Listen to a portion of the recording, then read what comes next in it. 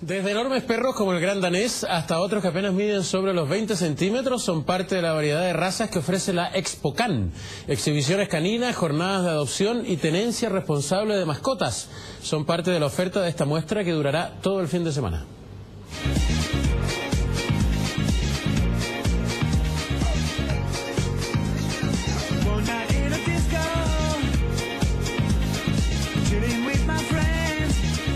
Son los 460 perros más chic de nuestro país. Los peinan, los amononan, los consienten y ellos responden en la pasarela.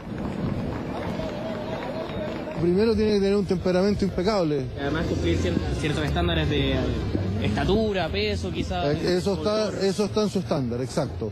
Peso, estatura, color, movimiento, tipicidad, todo eso está en el estándar.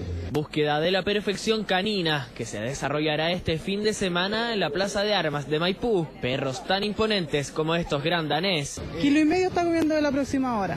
De cachorro comía dos kilos y otros canes tan diminutos como este Yorkshire. No, estoy preparando para la exposición. Una raza Yorkie, el pelo es muy importante, tiene que ser una seda.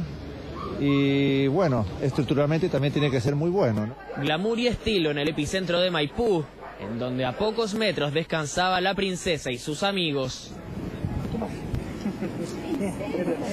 Hay esa gente que llega aquí, se sienta y le trae comida a los perritos. Si están pochitos ahí durmiendo, pues si estuvieran con hambre no estarían aquí, andarían por otro lado. Nosotros deberíamos estar ahí. Pese a que no son de pedigrí, son muy queridos por quienes trabajan en torno a la plaza. Sin embargo, el exceso de perros callejeros se puede convertir en un problema, por lo que en esta ExpoCan también se fomenta la adopción de los queridos quiltros. Tratamos de rescatar perros de la calle, mantenerlos en hogares transitorios y en el departamento también de zoonosis rehabilitarlos y la verdad es que muy contentos porque ya han ido hartos, hartos perritos en adopción. Como este perrito al que el pequeño Joel no le quitaba la vista de encima. ¿Te gustó este perrito que estabas mirando acá o no? Sí. ¿Y qué, qué fue lo que más te gustó de este? Porque es, es muy blandito, tierno y tiene mucho pelito.